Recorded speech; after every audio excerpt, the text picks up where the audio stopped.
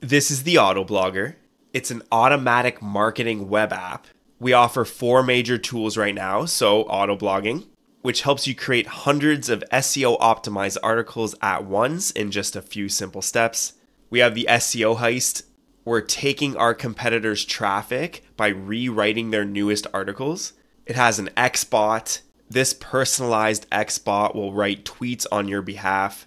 We have a Reddit bot. It automatically responds to new posts on your chosen subreddits. And before we only had the option to use GPT 3.5 or GPT 4 Turbo, but now we've integrated with Gemini. This is Google's large language model. And in this video, I'm going to show you how to set it up, how to get your API key, and show you some cool things that you get with Gemini Pro that you don't get with the OpenAI APIs. All right, let's get into it. If you're not new to the Autoblogger, you can skip ahead in this video to see all the new features. If you are new, head on over to autoblogger.app. I'm going to drop a link in the description below and you're going to sign up. You're going to put your full name, your email address, a password, re enter that password, and then click sign up. That's going to drop you onto the settings page. And we have a few integrations that we offer right now. More will be added later. But we have Blogger, Reddit for the Reddit bot, Shopify, Webflow, WordPress.com, WordPress.org, and then X for the Xbot. If you want to use the Autoblogger or the SEO Heist, you need to connect your website. So let's say I had a WordPress.com website, I would click this. I would name my WordPress.com integration, then click the connect button. It will bring you to one of these WordPress.com consent screens. Click approve. And if everything is good, it's going to bring you back to the connections page. And then you'll see your brand new connection down here. So this is an old one that I connected through WordPress.org. And in this video, I'm going to use BookGen as an example integration. At any point, if you're stuck connecting your website, I have these little watch video buttons at the top of the screen. This one is for Shopify. Sometimes the connections can be a little bit complicated, but I have created these short video tutorials for you. This one's just over two minutes. You'll get your Shopify site connected in no time. Next, I'm going to click on API keys. We offer OpenAI, so that's ChatGPT 3.5 and GPT 4, the newest edition Gemini Pro, and then Stable Diffusion 3 for an image alternative. If you're going to be generating thousands of articles, I highly recommend Stable Diffusion.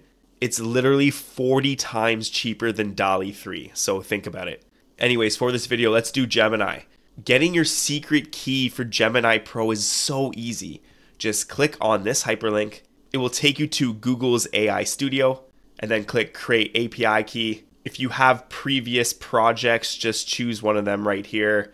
Click Create API Key and then copy this key. Go back into settings, paste it in, and then you can click the test button to test the connection. If everything is good, we're going to get a check mark in the button that means Gemini Pro has been connected successfully. Why use Gemini Pro compared to OpenAI?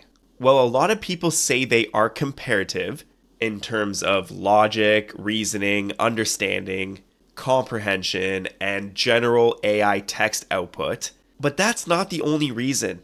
Take a look at this, and yes, you are reading this right. It is completely free to use Gemini Pro as long as you stay within the 15 requests per minute or 32,000 tokens per minute or 1500 requests per day, both the input text and the output text is free. If you're using this on the Autoblogger app, you won't pay a dime for your text generations. You can run the SEO heist on your website forever free of charge. I'm so sorry it took me so long to add this. I didn't know it was free. As soon as I realized that, it was a no brainer to integrate it with this app. I would say Gemini 1.0 is equivalent to GPT 3.5 Turbo. Soon we're going to be able to access Gemini 1.5 Pro. This isn't quite available yet in the API, so we have to wait a bit. People are predicting early May, but for very small rate limits, it's also free. For some of you using the Autoblogger app, you might hit rate limits, but still, pay as you go is a lot cheaper than GPT 4 Turbo. And I'd say that Gemini 1.5 Pro is equivalent to GPT 4 Turbo, if not better at some tasks. All right, we're all set up. The last step is to click on subscription, then click subscribe. It will take you to a secure Stripe checkout page. The Autoblogger is $9 per month, and that includes all of the features, unlimited uses, unlimited workflows, unlimited connections. So if you're an agency, you can connect multiple websites to the Autoblogger all under one subscription.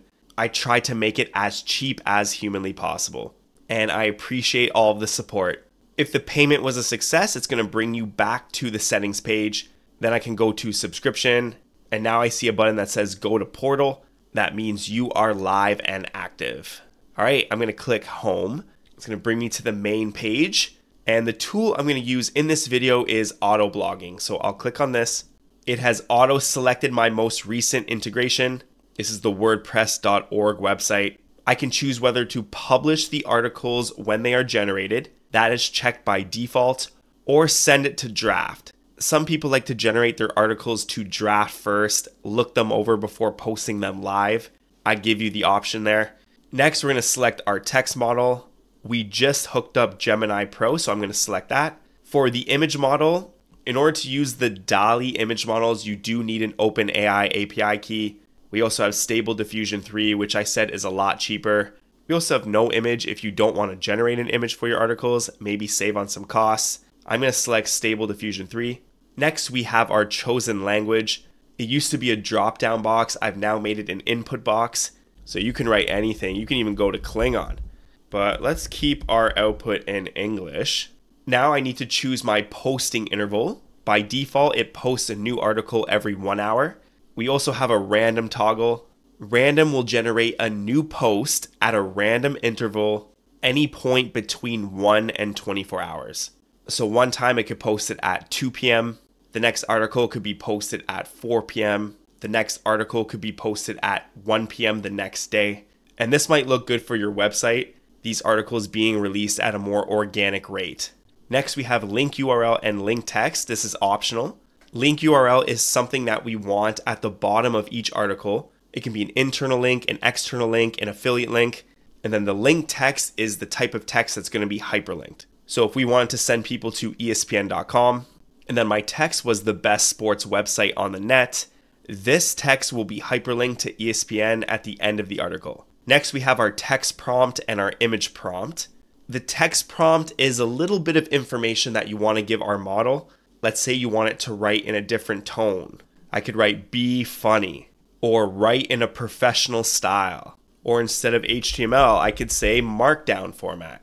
Use this to help guide your outputs to better generations.